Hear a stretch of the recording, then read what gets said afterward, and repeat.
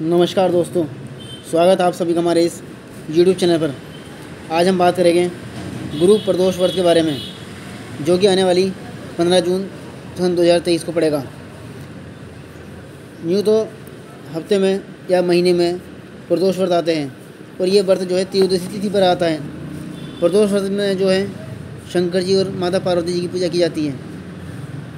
पंद्रह तारीख को, यानी पंद्रह जून को आने वाली गुरु प्रदोष व्रत। क्योंकि गुरुवार को पढ़ रहा है तो इसी कारण इसे गुरु प्रदोष व्रत भी कहा जाएगा। प्रदोष व्रत का अर्थ है, इसकी पूजा जो शाम को प्रदोष काल में की जाती है, जो कि बहुत अच्छा समय होता है, यानी मुहूर्त होता है। इस समय पूजा करना काफ़ी फलदायी होता है। ये दिन भगवान शंकर जी माँ पार्वती का है। इस दिन शंकर जी की पूजा करने से भगवान शंकर जी की कृपा प्राप्त होती है। सभी प्रकार की जो है, आपकी मनोकामनाएँ पूर्ण होती है और जीवन में आने वाले सभी प्रकार के कष्टों से मुक्ति मिलती है। क्योंकि प्रदोष काल में जो है, जब शाम का समय होता है, उसी समय पूजा का महत्व बढ़ जाता है। प्रदोष काल जो है, सूर्यास्त से पैंतालीस मिनट पहले का समय होता है। उसी समय पूजा करना बहुत उचित कहा गया है। इस व्रत को करने से सभी प्रकार के कार्यों में सफलता मिलती है, सभी पापों से मुक्ति मिलती है। त्रियोदशी तिथि जो है, उसका प्रारंभ पंद्रह जून को सुबह आठ तैंतीस पर हो रहा है और इसकी समाप्ति सोलह जून को सुबह आठ इकतालीस पर होगी। तो क्योंकि शाम का महत्व तो है इसमें तो पंद्रह जून को ही प्रदोष व्रत किया जाएगा। जब ये सोमवार को पड़ता है तो इसे सोम प्रदोष व्रत कहते हैं, मंगलवार को पड़ता है तो इसे भोम प्रदोष व्रत कहते हैं। और अब की बार ये गुरुवार को पड़ रहा है तो इसे गुरु प्रदोष व्रत के नाम से जाना जाएगा।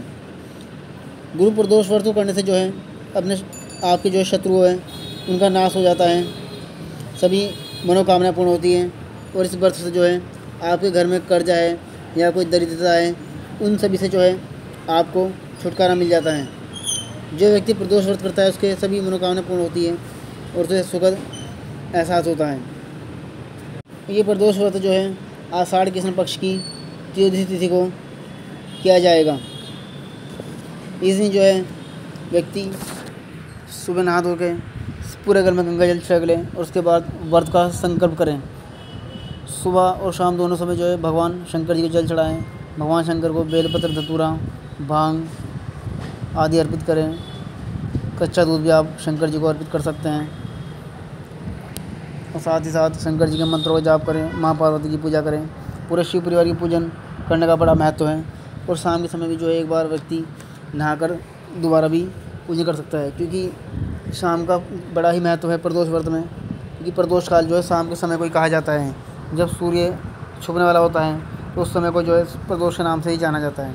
तो इसलिए प्रदोष व्रत में जो है प्रदोष काल का बड़ा महत्व है। उसी समय यदि आप पूजा करें तो आपको मनोवांछित फल की प्राप्ति होती है। तो आज जाना आपने गुरु प्रदोष व्रत के बारे में। हमारी और वीडियो आगे भी आप लोगों के लिए ऐसे आती रहेगी। आप हमारी वीडियो को लाइक करें इसको, चैनल को सब्सक्राइब करें, ताकि वो लोग भी इसे देख सकें। और यदि कोई बात आप हमसे पूछना चाहते हैं तो हमारे दिए हुए मोबाइल नंबर पर आप संपर्क कर सकते हैं। सभी जानकारी आपको विस्तार दी जाएगी। धन्यवाद।